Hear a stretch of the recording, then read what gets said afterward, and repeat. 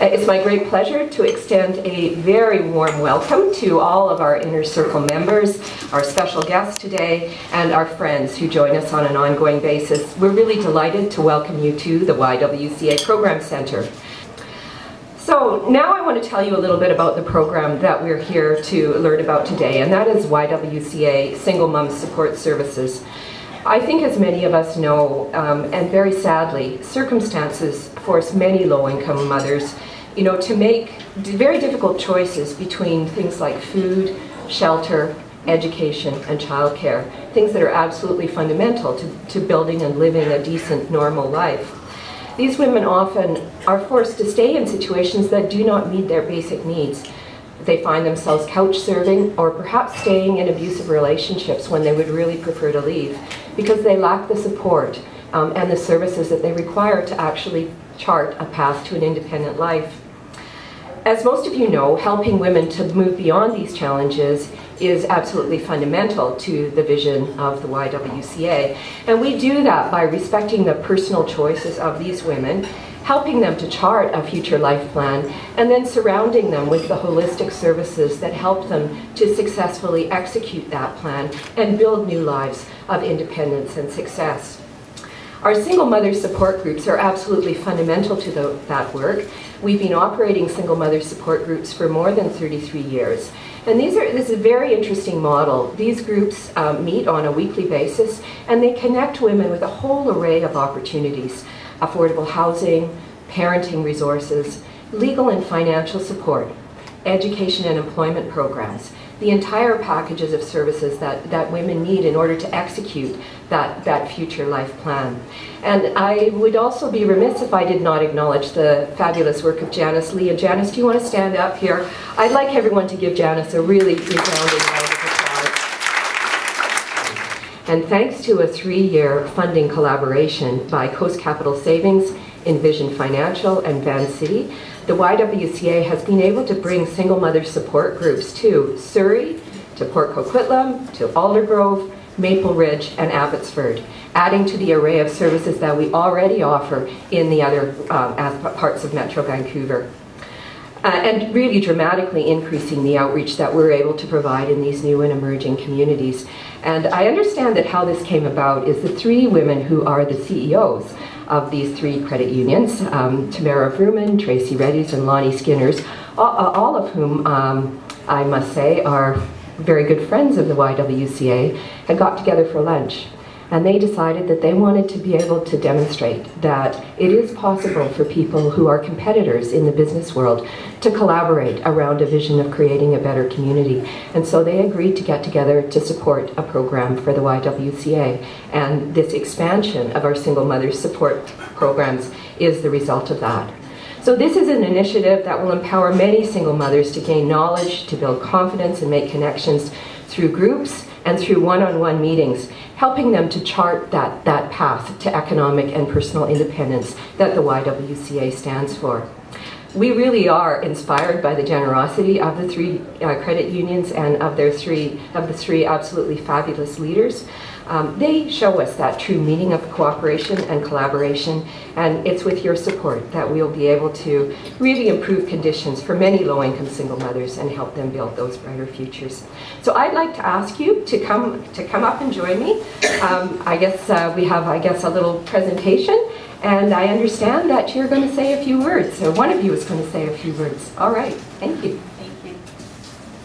Well, good afternoon. Uh, it is a pleasure to be here today, and we really would like to thank the YWCA for their leadership in supporting single mothers, for supporting families and children throughout Metro Vancouver, and certainly with this new initiative moving into the Fraser Valley. Uh, it's a thrill for all three of us uh, to be here today. And, and as uh, Janet was saying, this really was a collaborative effort. How do we look at uh, our credit unions being that competitive model in the community, but together we can really make a valuable difference? Uh, the impact that our resources have as a collective versus single uh, is really going to be shown in the work that is carried out here by the YWCA and certainly throughout uh, the lives of the children and uh, and the mothers as they go through this program and just uh, the the work that they'll be able to bring to their families and, and to our communities. So for us to be here. It's a partnership of three who have come together to really maximize and to make a, a tremendous difference in our community. So we, we thank you for, uh, for supporting this initiative. Uh, on behalf of our partnership, we are pleased to be here. And uh, I must say, we are so pleased to be able to present a check to the YWCA Single Mother Support Program for $450,000.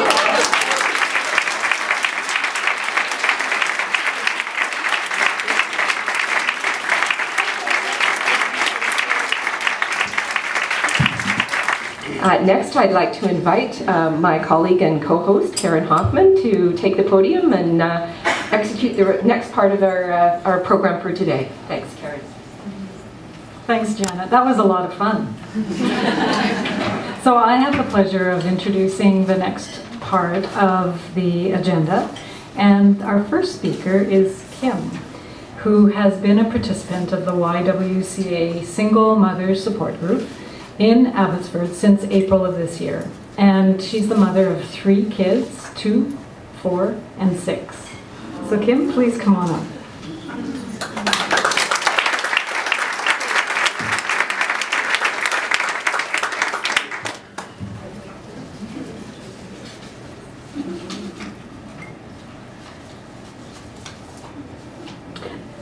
Before coming to the YWCA, I was having a I was that my life and the life of my children was changed forever. My husband left me and my three small children for a 22 year old, and he is currently living in Barbados with her. so I was in great distress. Um, my three children obviously were, but especially my six year old son, he um, would ask daddy to come home and then go underneath a chair and cry for him. So it was just more than I could bear. Um, so I did research online about some of the resources that were available to single moms in the area, and the Y came up in a Google search.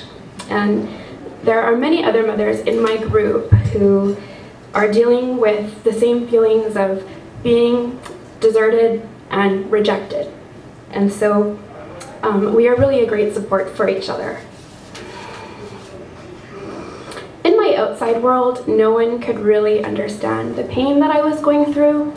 Um, in the group, when a new member bursts into tears, we understand where she's coming from and we hug her and we take really good care of her because we understand. So there are other mums in the program who have a different story to tell. Some of them come from um, domestic abuse, some of them come from substance abuse, and uh, some of them come from different cultural backgrounds. So it's this diversity that makes the group very special, and we actually have a lot of fun together.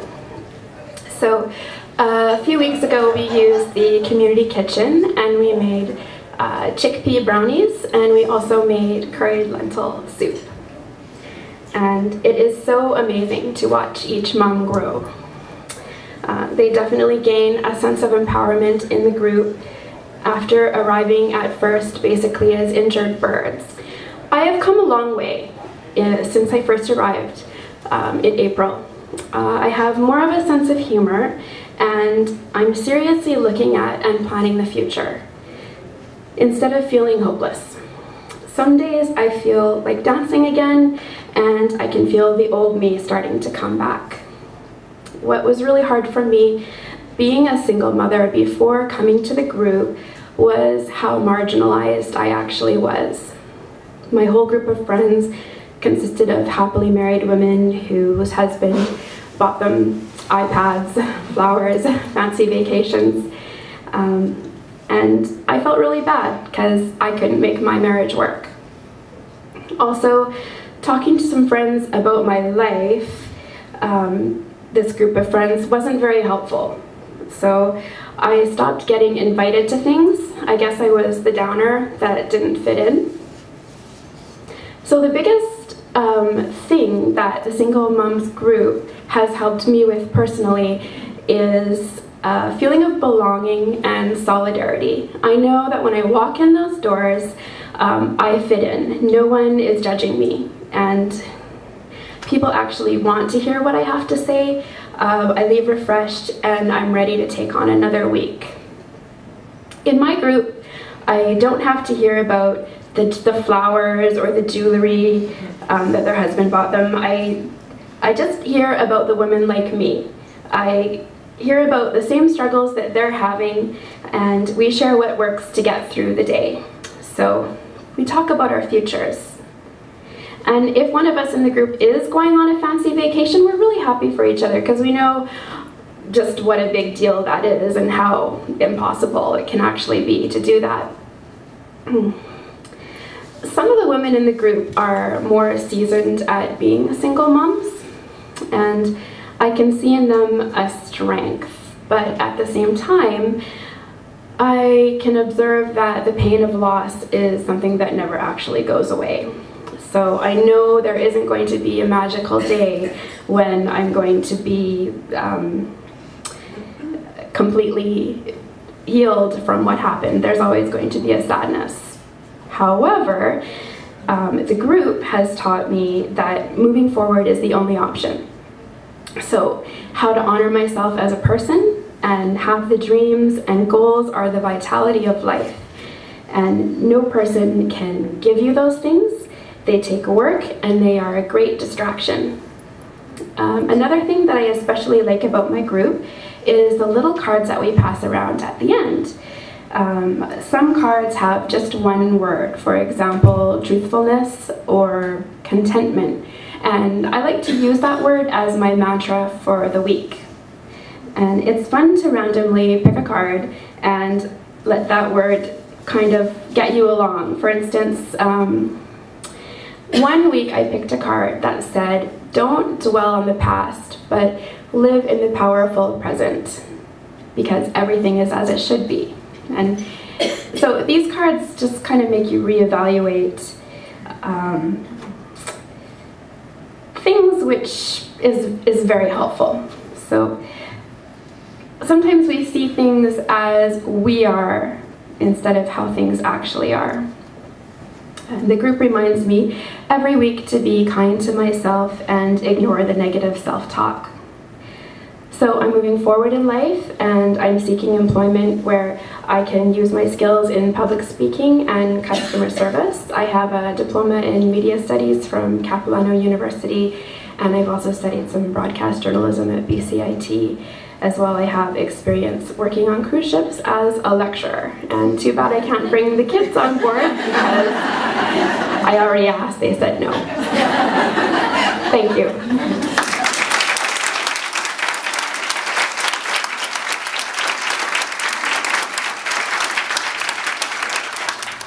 Said that you came a long way since April, and I think you've come a long way today to be here with us from Abbotsford, so really thank you for that. Our second speaker is Carla, who, with her son, left an abusive relationship and found support and encouragement in the YWCA Baby and Me group. Carla is also a YWCA bursary recipient and is currently studying nursing in Langara. Carla, please come on up.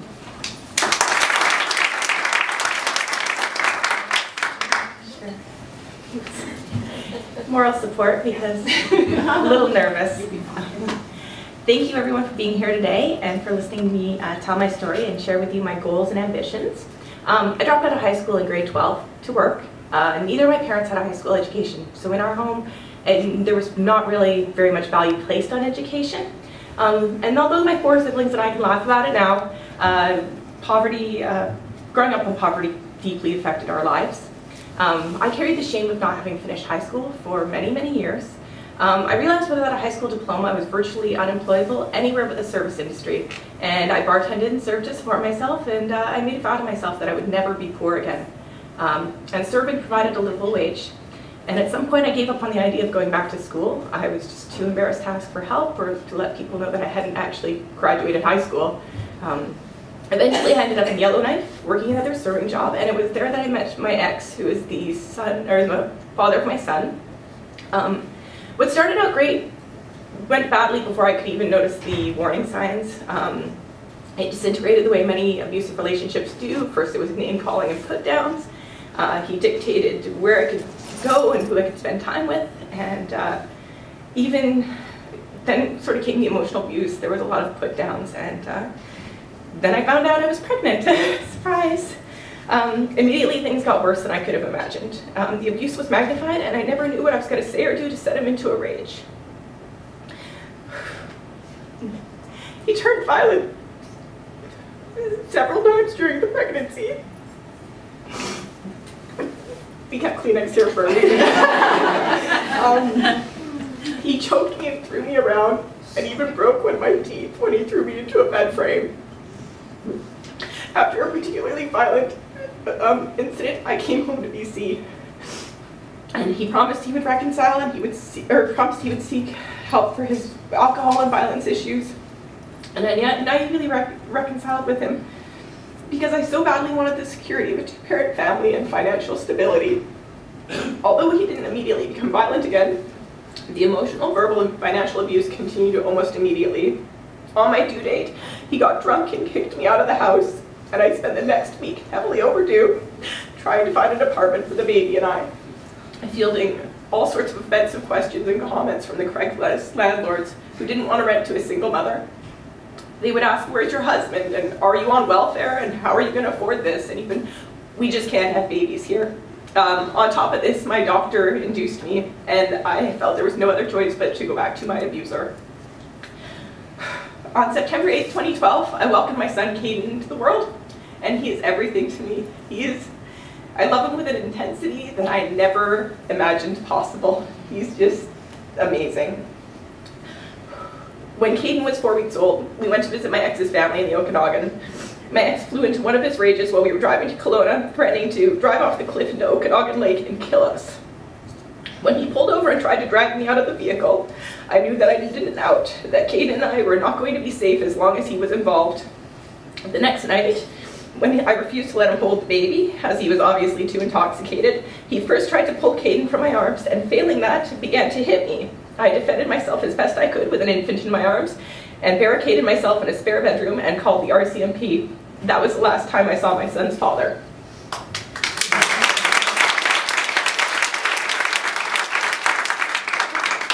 I finally realized the violence wasn't going to stop unless I put an end to it. I suddenly became a single mom with a four-week-old, no education, and about $10 in the bank. I was irrationally angry with myself. I didn't want to be a broke single mom, and I didn't want my son to grow up as poor as I did. The first thing that struck me was that it was a room of very capable, bright, loving women. Though everyone was unique and had different backgrounds, there was a common unifier in that these women loved their children unconditionally and truly wanted to make life better for their beautiful babies. How was I going to break this cycle of poverty? The answer, the one that had eluded me for years, was suddenly obvious. It was time to go back to school. I applied to Langara as a mature student and was accepted immediately. It was like being a weight being lifted. I no longer had to be ashamed of being uneducated. I'm currently doing my prerequisites so that I can follow my dream of nursing. Not only is it stable and in demand, it's a career I can be proud of and I can spend my working career making a difference in people's lives. Now that I was accepted, I had to figure out how to pay for school. Again, the YWCA stepped up made a major change in my life. I was awarded the very generous Kamal Basra Sophia Financial Group Bursary, and the YWCA's donor relations manager, Vanessa Wellington Clark, went out of her way to forward my application to another bursary fund, the Street Meals Scholarship Fund, who also awarded me a generous bursary. Without these, I would not have been able to cover the cost of tuition before the payment deadline. Then last month, I was pleasantly surprised to find out that another YWCA donor had decided to top up my bursary to help lower my educational expenses. I am so grateful and humbled by the massive outpouring of support by the YWCA staff and donors. I cannot stress enough how important this has been to making, uh, to making so many positive changes in my life. Just over a year ago, I couldn't escape from a cycle of abuse, and I never imagined I deserved anything better than that abuse. I'm now on my way to a degree, I'm on my way to a better life.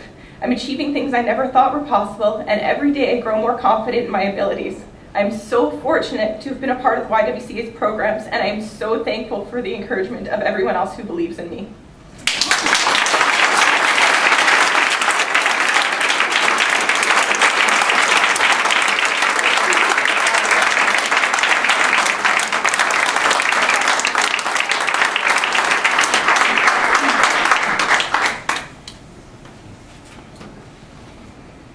Thank you very much, Carla, for sharing those experiences with us.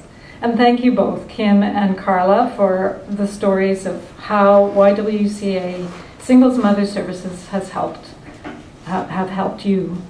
It's because of Coast Capital, Envision, Vancity's generous donors, donations, and the generous donors in this room today that YWCA services have been able to help many women and their families, including Kim.